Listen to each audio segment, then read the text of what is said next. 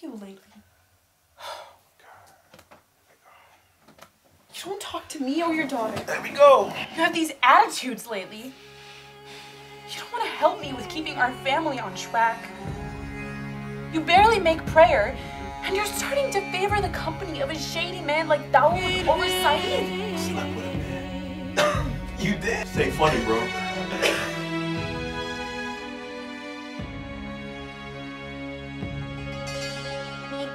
Allah will be the ultimate judge. I'll stop hanging with you.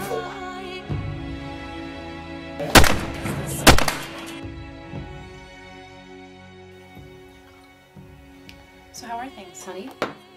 Can you breathe? Hurt? What do you mean?